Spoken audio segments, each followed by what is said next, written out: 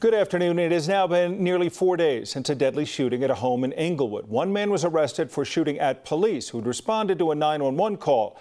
The man's brother was killed after police fired back. Englewood's police chief won't take our questions on camera, but he did release a video statement today. 9 News reporter Noel Brennan found out information coming from police right now has been limited and conflicting. We can lay out pieces of the story but the full picture of what happened on South Grove Street is incomplete. We know Philip Blankenship is accused of shooting at Englewood police. Officers fired back, and Blankenship's younger brother, Matthew Mitchell, was killed. Pieces of the story come from Englewood police, a news release, an arrest report. I'm Sam Watson, police chief for the Englewood Police Department. And a taped statement from the chief. The news release says responding officers were, quote, met with gunfire. But the shooting wasn't so sudden if you read the arrest report. It says officers set a perimeter and made loud commands for Blankenship to exit the house. The video statement offers a timeline, suggesting officers were on scene 28 minutes before the first shot, enough time for police to get two family members out of the house. At 8.07, officers were shot at from a large window on the east side of the house. That gunfire struck a vehicle that the officers were positioned behind. The news release and arrest report do not make clear whether police knew Matthew Mitchell was inside the house with his brother when officers fired. But the chief's words suggest they did. Officers then surrounded the house and started making announcements for both occupants to exit the residence. We know the story ends with gunfire. It was determined that the subject was deceased. This all started with a 911 call about a family disturbance. Police say that Blankenship told them that he was suicidal and his brother never shot at police. Englewood's police chief says officers were wearing body cameras at the time of the shooting. He says those recordings will show the extreme risk officers and the community faced. We still have not seen a, a, single frame of that video. The police chief says that it will be released when the investigation allows it to be released. These situations are often confusing and sometimes the facts do move a little bit, but we, we've seen varied reports, as you just told us. Yeah, the initial statement that they were met with gunfire, the video statement from police chief today contradicts that and says that, yeah, there was a significant period of time that passed before shots were actually fired. And, and sometimes when you just release a video statement, that only causes us to point out all these things that so they absolutely. If we were are going to have, have, to get that video a back and forth with them to answer yeah a little bit more. There will be a comprehensive report. We'll still wait for that see when that comes out. Yeah there's the 18th judicial critical incident response team that is looking into this so we'll just have to wait and see what their their report finds. Kind of lay out all the details what all happened. Right. thank you noel. Thanks noel well, again last night we saw a major storm sweeping across Colorado. One viewer, Kathy, sent us this video last night. You see the clouds swirling above a neighborhood. This is in Severance, up between Greeley and Fort Collins. She says several homes in her neighborhood are going to need plenty of repair because of some golf ball sized hail. Then you look at Wellington to the northwest, where they got tennis ball sized hail in some spots there. And in Estes Park, the hail came down hard and fast. Yeah, it looked like snow. Looked like a blizzard right there, right before 10 last night. They actually had to bring out the snow plows to clear the roads once the storm kind of cooled off this morning. Flash flooding happens fast, and one reporter has witnessed the tragedy that it brings over and over in his 31 years as a journalist in Fort Collins. Yeah, he spoke with our reporter Katie Eastman about uh, days like today and how they take him back.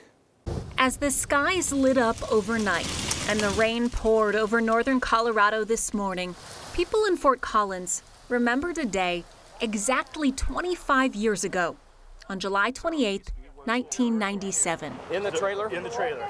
It was a night of terror at a trailer park. And uh, I can remember walking from my home and uh, in two blocks i could barely get back because the water was about uh, uh, almost up to my knee already. Miles Blumhardt was in his early reporting days at the Coloradoan then. I was asleep when i woke up and everything was floating away. But the details of the spring creek flood that killed five people never go away especially not on days like this. Larimer county has you know a history with flash floods. We've had the last six fatalities in, in the state, four last year and two this year. This morning's rain caused some streets to flood in Fort Collins. So far, nothing too serious. But because Blumhardt knows what can happen, he hopes others pay attention. Um, so today, I think we're at risk because if we do get some of these heavier rains, which we've already had this morning, um, I think there's some potential for not only not only flash flooding up in the uh, the Cameron uh, Peak burn scar, but also here in Fort Collins. Katie Eastman, Nine News. And what he says is true. So many people remember these storms. There is a flash flood watch in effect until 10 tonight in Fort Collins. Stay tuned. Certainly one of those important days for people to be paying attention to the weather. Whereas if you look over Denver right now, just been a cooler day with some cloud cover, but some very important forecasting lies ahead. So we want to check in right now with uh, Lauren Robinson in the Weather Center to find out how things are shaping up. Hi, Lauren.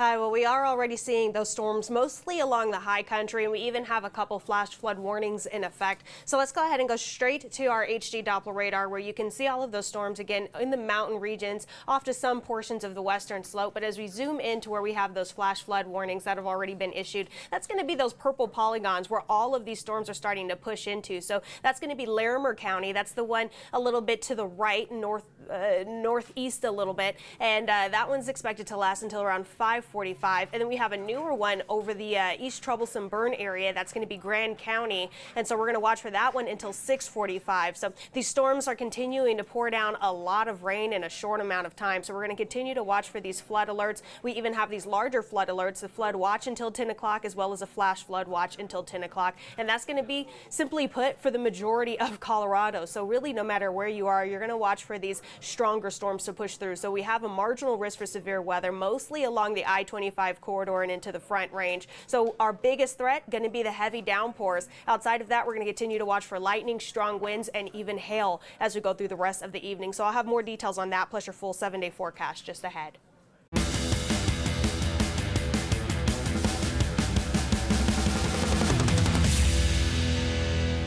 Day two for those counting um, of training camp. And before training camp today, Justin Simmons and Russell Wilson got to say hello to some friends.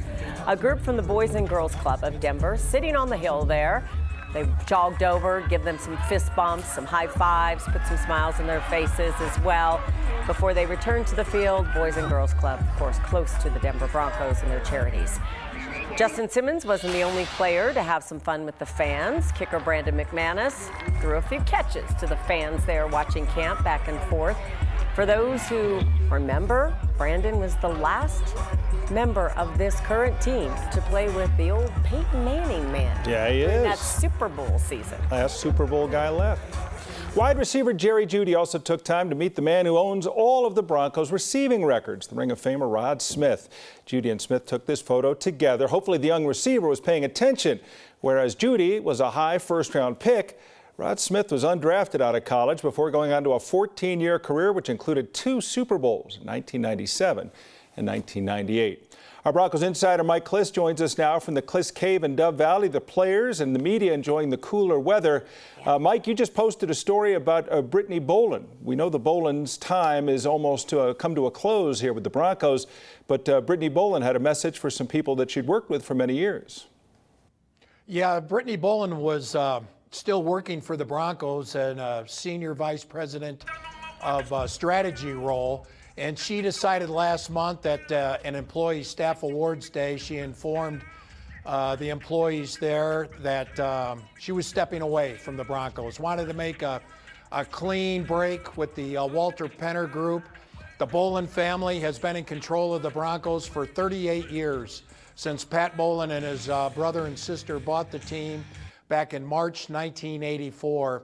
It's been quite the run but Brittany Bowlen has resigned from her position with the Broncos, and uh, I, you know, I, I, guess she she didn't want. She's get she's going to wind up with more than a half billion out of this sale. 11 percent. All the kids are going to get 11 percent of this 4.65 billion that uh, Rob Walton bought the team for. But trust me, in talking to Brittany over the years and just listening to her talk, she would have preferred a different outcome. She was hoping to one day succeed her father uh, as the controlling owner of the Broncos. Uh, she was working toward that. She's got all kinds of education, masters from Duke. She went to uh, um, a global marketing company to get some practical experience. She worked in the NFL office for two years across four different departments, but it wasn't to be. She will wind up with a nice uh, cash consolation prize, but it's uh, the Bowlen Group now essentially uh, is finished with the Broncos, and you know Rob Walton and the and the Penners will soon be in control. Couple of weeks. Now this is day yep. two. We were all worked up yesterday because I was. Ciara and the kids came out to camp yesterday, opening day, but she came back today.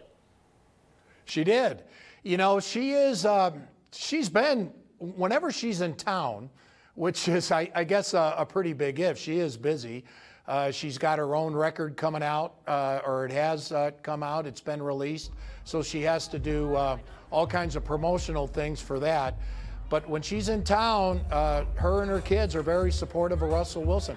They're often together. What uh, the the night before they were at their uh, new clothing store in the uh, uh, in the uh, mall that's around the area here. I forget which is the name of the mall, but. Uh, yeah, they're they're often seen together. I mean, uh, rarely do I see them apart, and it does look like she's going to be a regular so long as she's in town.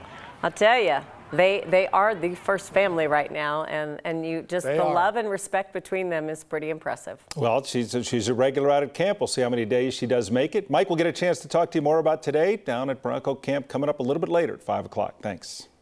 This Saturday, the NFL will celebrate Back Together Saturday, and the Broncos are expecting a big crowd. Remember, they've been all dealing with COVID for a couple of years, so things are changing. Practice runs from 10 in the morning until noon. Parking will open at 8 and the gates at 9. It's free, but all the tickets have been reserved already. Uh, there will be everything from a welcome address from the players and the coaches, food trucks, autograph sessions, a flag giveaway to the first 5,000 there. Those ticket sales were capped at 4,000 and they are sold out. So Big event. Have some fun. Should be fun. Right now, monkeypox cases are growing across the country, including here in Colorado. So we're going to talk about vaccines. Our medical expert, Dr. Payal Kohli, joins us next. Let's take a live look right now as we keep an eye around the state, looking for some more severe storms this afternoon and evening. There's a look right over the top at Coors Field at downtown. We'll be right back.